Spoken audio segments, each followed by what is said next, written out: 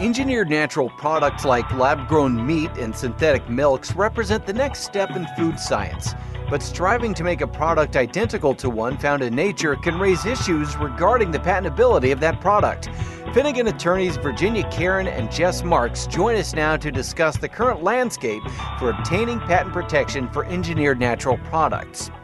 Jess, the Supreme Court's decision in Molecular Pathology versus Myriad Genetics Inc. played a significant role in the patentability of natural products. Tell us about the case and the impact of the court's opinion. Well, the Myriad case was decided by the Supreme Court in June of 2013. Now, you may recall that case because it made headlines at the time because it involved claims to the BRCA genes that are indicators of breast cancer risk. And I think most people remember it as a case that said that genes could not be patented. But that summary is so general that it borders on inaccurate. In that case, it's important to note that only two types of patent claims were involved. And we're going to get into some science here, but bear with me a bit. It will become clear why this science is necessary in just a little bit so there was one set of claims that were directed to naturally occurring genomic DNA for the BRCA gene, and then there were other claims directed to the corresponding complementary or cDNA sequences. What's important is the difference between these two types of sequences.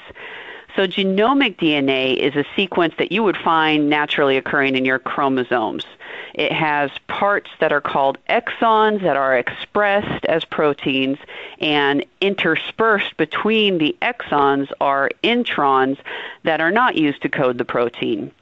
The fact that Myriad identified the genomic DNA for the BRCA gene is a great scientific discovery, but that's what it is. It's a discovery of something that existed in nature. The cDNA, however, is a DNA sequence that can be thought of as derived from the genomic DNA. It contains all of the exons in the genomic DNA, that's the part that's expressed as our proteins, but it does not contain the interspersed introns.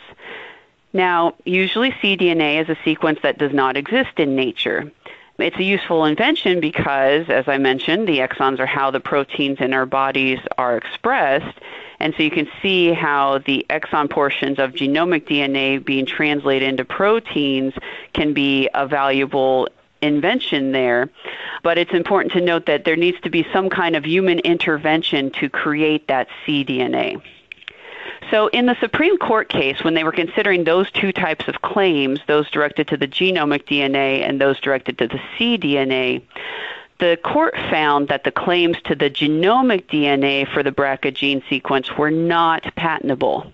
But the claims to the BRCA cDNA, which did not exist in nature and which requires human intervention to create them, those were patent eligible. So the Myriad case can be thought of as providing one guidepost to inventors when pursuing product claims in their patent applications. You want to have claims that are directed to a non naturally occurring product. If the product is indistinguishable from what is found in nature, then the claims directed to that product will be a bit difficult to patent. I agree, Jess, but it is important to note that the Myriad case only dealt with one type of patent claim, and as you stated, that's the patent claims that were directed to the product itself. But let's say you invented a new type of meat, something that you engineered in a lab. Let's say, for example, you found a way to make meat that was biologically and chemically identical to chicken. But again, you developed that in a lab without using the natural product you could try to patent the engineered meat, but if the final product is really indistinguishable from the regular chicken meat, then you might have a difficult time getting any claims that cover the meat itself. But there are many other types of claims that could be patented and give you some protection for your invention. Virginia, that leads perfectly into the next question. A common challenge in this sector is patenting a replica of something that already exists in nature.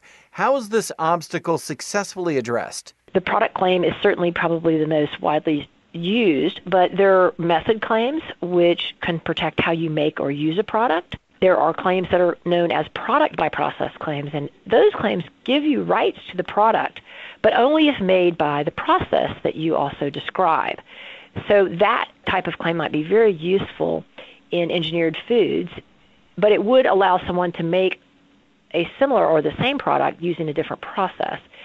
And there can be product claims themselves that go to things that are related to the meat that we were describing. So, for example, maybe pieces of the machinery that you use or the technique that you use to develop the chemical combinations that you put into the end product. So it's still possible to get claims directed to the final product, even under Myriad, but you just have to be careful about how you describe the product and what you do.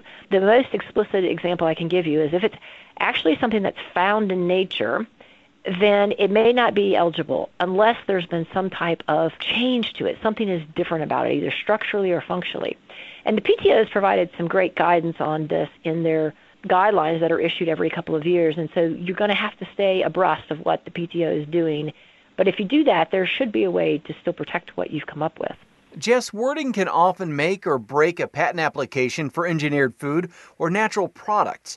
What should companies do to make sure their application isn't rejected? Drafting a good patent application is an art, it's a science, and it's a skill. So, one of the most difficult aspects of drafting applications in a cutting edge field like engineered foods is that the terminology is always evolving. So let's stick with this example of engineered meat. Lab grown meat, fake meat, cultured meat, alternative proteins, clean meat, vegan meat. These are all terms that are currently being used, and none of them have a set definition.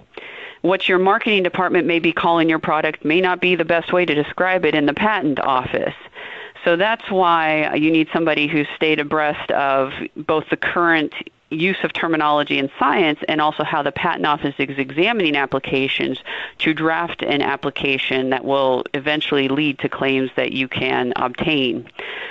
Now, I know many practitioners have shied away from the use of definition sections in patent applications in recent years. They fear that by defining terms specifically in the application, the claims might be too narrow. Maybe they don't define it, you know, as broadly as you would want, and so they just avoid providing one altogether. But I think it's especially important in the engineered food space to make sure that everyone is on the same page, that you provide a definition that the examiner can readily understand and therefore target their searches and target the examination of your application appropriately. And an experienced patent lawyer should be able to craft definitions that are scientifically accurate and that encompasses the inventor's invention and the relevant design around products that the competitors might be developing. And such definitions are useful in clarifying what's being claimed and to clarify that it's not merely the naturally occurring version of the product. And also, although it's important in every application, it's doubly so in the engineered food space. You must consider claims to a variety of aspects of your invention. If getting claims to the product is going to be difficult, then you need to make sure that in your application you've described the process of making the product, how it's used, how it differs from the naturally occurring version, any special chemicals or machinery that's used to develop it. All of these things need to be considered when you're drafting the application. And one of the other things to answer your question about what companies might do to try to ensure that their application isn't rejected is it's going to be very important, as it has been, but even more so, for companies to keep up to date on the latest court cases related to these issues. This is a developing area, and so it's going to be important to watch all of those types of cases to see where the patent law seems to be going, and also to try to get some sense of where it's going next as you are on the cutting edge of the development. Because the key is to drafting applications not only that will be issued today, but that will withstand the test of time and possibly challenge by a competitor. And finally, Virginia, what are some recent notable examples of natural product or engineered food patents? Well, there's been some very interesting ones lately. Um, a couple of the ones that we have seen that I think will get some attention as the days move on are a crispy meat chip. It's an alternative to potato chips for those who prefer to have no carbs in their diet or they like the taste of it. It's covered by U.S. Patent 7662422. Another example is U.S. Patent number 8460726, which covers a method of making crackers using live probiotics. We've also seen things in very different fields. For example, a patent that now covers the method for making tea using red grapes. I suspect we'll see quite a few other engineered food patents that use red grapes in products because of the publicized benefits of grapes. So there are many different ancillary inventions in the field as well, given the food trends that we're seeing take place, particularly in the United States, but really worldwide, as people become more aware and more concerned about the types of products that they ingest. And I think that we will see that these trends continue to spur inventions of new machines, new gadgets, as well as patents that cover the end products that, while very similar to natural products, are not naturally occurring. That is, there's been some human intervention to arrive at the end product.